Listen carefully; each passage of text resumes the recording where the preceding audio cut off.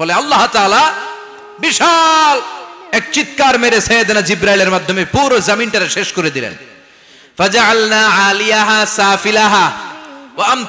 আলাইহিম হিজারাতাম মিন সিজিল তাদের অপকর্মের কারণে জর্ডানের ওই এলাকাটাকে আল্লাহ বললেন, জিব্রাইল এলাকাটারে হাতে তুলে নে। আকাশের উপরে তুলে পুরো এলাকা সহ মানুষ সহ জমিনের মধ্যে গেড়ে দে। জমিনের নিচের মাটি উপরে নিয়ে গেল কে? উপরের মাটি নিচে নিয়ে গেল কে? পুরো জায়গাটা এখন ডেড সি হয়ে গেছে। কি সি ডেড সি নাম শোনেন নাই বোধহয়? আজকে শুনে রাখেন, এটারে বলে মৃত সাগর। এটা গজবের জায়গা। ওখানে মানুষও ডুবে না। লবণের ডেনসিটি সল্টের ডেন্সিটি এত হাই এই পানির মধ্যে এত গজব, এর মধ্যে কোনো মাছ জন্মায় না, চিংড়ি জন্মায় না, কাঁকড়া জন্মায় না ব্যাং হয় না, শ্যাওলা হয় না, কিচ্ছু বাঁচে না। এটা গজবের জায়গা, চিল্লায় বলেন, ঠিক কিনা যে আল্লাহ জর্ডানের এলাকাটারে ধ্বংস করে দিল, ওই আল্লাহ আজও আছে না নাই? এই জন্য নিজ দিয়ে তিনি যেমনি আজাব দিতে পারেন, ভূমিকম্প দিতে পারেন, জলোচ্ছ্বাস দিতে পারেন, উপর থেকে তিনি শিলাবৃষ্টি দিতে পারেন কি পারেন না? মাইথের দিয়ে কখনো শিলাবৃষ্টি হয়েছিল? হ্যাঁ? ফসল ক্ষেত শেষ করে দেয় না? ছাগল টাগল মরে যায়। ছাগল যদি ইয়েতে থাকে, ক্ষেতের মধ্যে বড় শিলা মাথায় পড়লে শেষ। মানুষও শেষ, টিনের চালও শেষ। কথা কন। এরপরে আল্লাহ যদি উল্কা বৃষ্টি পাঠায় উল্কা যদি পড়ে, কই যাবেন? কোথায় যাবেন আপনি? উল্কা চিনেন? মহাশূন্যে বিশাল পাথরের খণ্ড ঘর্ষণ খেয়ে পৃথিবীর ভেতরে ঢুকে যায়। এই পৃথিবীতে সবচেয়ে বড় উল্কাপিণ্ড পড়েছে সাউথ আফ্রিকাতে। সাউথ আফ্রিকার একটা সিটি আছে, হোবা সিটি এই হোবা শহরে ষাট মেট্রিক টন ওজনের একটা উল্কা পড়েছিল, যেখানে পড়েছে পুরো জায়গাটা বিশাল খাদ হয়ে গিয়েছে। এরকম একটা উল্কা যদি এখানে পড়ে আজকে? বাঁচার উপায় আছে? যে বিল্ডিং এ আমরা থাকি, রাত্রে বেলায় ঘুমাই আর ধুম্মা চলে, ধুম দেখি রাতে। ওই বিল্ডিং এ যদি একটা পড়ে। কথা কন। ডান্স ক্লাবগুলার উপর যদি পড়ে, পতিতালয় যেগুলা আছে, ওগুলা যদি পড়ে, যেই হোটেলগুলার মধ্যে আকাম কুকাম হয় ওইটার উপর যদি পড়ে, নাকি আল্লাহর এখন দেওয়ার ক্ষমতা নাই? কথা কন।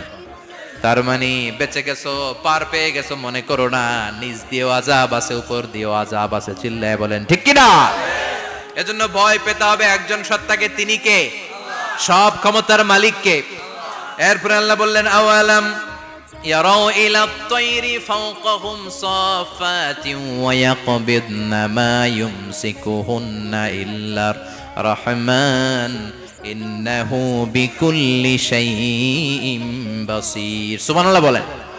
আল্লাহ বলেন তোরা নাস্তিক হস কেমন করে মানুষ নাস্তিক হয় কেমন করে মানুষ কি মুক্ত বিহঙ্গের দিকে নজর করে তাকায় না আকাশে মুক্ত বিহঙ্গ নাই বিহঙ্গ বুঝছেন তো পাখি পাখির কথা কোরআনে বললো কে সুবহানাল্লাহ কইবেন না وأرسل عليهم طيرا أبابيل আবার কাবা ভাঙতে এলে পাঠাওয়া বাবিল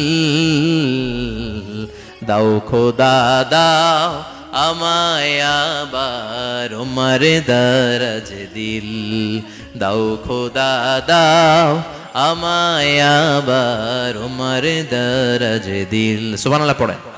এই যে আল্লাহ বললেন, ওয়া আরসালা আলাইহিম তারপর তায়রান আবাবিল তায়ের মানে পাখি তায়ের মানে কি?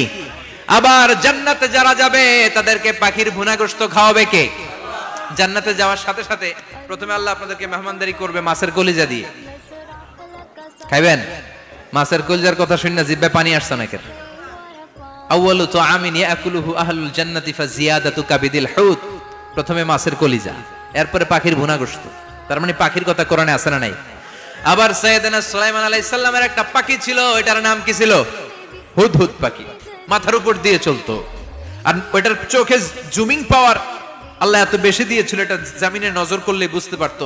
কয় হাজার ফিট নিচে পানি আছে, পানিটা মিষ্টি না লবণাক্ত না কেমন? দেখে দেখে মুহূর্তের মধ্যে সৈয়দনা সুলাইমানের কাছে সব তথ্য সরবরাহ করে দিত কোন সুবহানাল্লাহ। এজন্য আল্লাহ বললেন, নাস্তিকগুলো কি পাখির দিকে তাকায় না? এই পাখির দিকে তাকালে পাখির রব আল্লাহরে খুঁজে পাওয়া যায়। পাখির দিকে তাকালে, মুক্ত বিহঙ্গের দিকে তাকালে কেমন করে পাখিগুলো উড়ে যায়? এই পাখিগুলো আকাশে ধরে রাখে কে? মা ইউমসিকুহুন্না ইল্লার রহমান। ওই রহমান ছাড়া কেউ পাখিগুলোর শূন্যে ধরে রাখতে পারে না। কত শত আয়াতে যে আল্লাহ পাখির কথা বলেছেন, হিসাব নাই। কত ধরনের পাখি যে আল্লাহ বানিয়েছেন, কোনো হিসাব নাই। আপনারা ঘরে জিওগ্রাফিক্যাল চ্যানেলগুলো দেখেন? হ্যাঁ? না, জি বাংলা দেখেন? স্টার জলসা? কিরণমালা? কি দেখেন? জিওগ্রাফিক্যাল চ্যানেল দেখবেন। ওখানে দেখবেন, একটা পাখি আল্লাহ তৈরি করেছে পৃথিবীর সবচেয়ে ছোট পাখি, নাম হলো হামিং বার্ড কি নাম? The smallest bird ever in the world সবচেয়ে ছোট। এটা প্রাপ্তবয়স্কে তিন থেকে পাঁচ ইঞ্চি লম্বা হয়। এটার পূর্ণ যৌবন, এটা লম্বা কদ্দূর। তিন থেকে পাঁচ ইঞ্চি। এটা প্রতি সেকেন্ডে ডানা ঝাপটা, ঝাপটাতে পারে আশি বার। কয়বার? আমাদের ডানা আছে না দুইটা? আপনি আপনার ডানা এক সেকেন্ডে কয়বার ঝাপটাতে পারবেন? হ্যাঁ? আমি ঝাপটাইলাম। কয়টা হয়েছে? এক সেকেন্ডে? হ্যাঁ? তিনটা, চারটা ঝাপটা দিতেই আমার সেকেন্ড শেষ। কিন্তু এই পাখিটা প্রতি সেকেন্ডে তার দুই পাখা ঝাপটায় কয়বার? পৃথিবীর সব পাখি সামনে ওড়ে তো, এই পাখি সামনে যেমনি ওড়ে অ্যাট দ্য সেম টাইম এই পাখি পিছনের দিকে উঠতে পারে।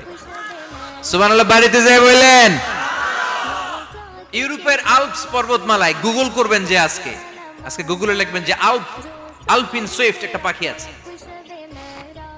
এই পাখিটা একবার যখন শূন্যে উড়াল দেয়, উড়ন্ত অবস্থায় এটা আকাশে ছয় মাস থাকতে পারে। আকাশের মেঘের আপ থেকে পানি খায় শূন্যে ভেসে বেড়ানো পোকামাকড় ধরে খেয়ে বেঁচে থাকে। ছয় মাস পরে একবার জমিনে ল্যান্ড করে নামে। নামে কয়েকদিন থেকে আবার উড়াল মারে, আবার উড়াল মারলে আবার ছয় মাস। আলপিন সুইফট। আরেকটা পাখি আছে, অদ্ভুত পাখি, নাম হোমা বার্ড। এই হোমা বার্ড উড়ন্ত অবস্থায় ডিম পেড়ে দেয়, আর ওই ডিমটা জমিনে পড়ার আগেই মাঝখানে ডিম ফেটে বাচ্চা বেরোয়, বাচ্চা উঠতে শুরু করে দেয়। এই পাখিগুলোর কথা করণে আছে না নাই? এজন্য আল্লাহ বললেন, আওয়ালাম ইয়ারাও ইলা তাইরি ফাওকাহুম সাফাতিন ওয়া ইয়াকবিদনা মা ইউমসিকুহুন্না ইল্লার রহমান। ইন্নাহু বিকুল্লি শাই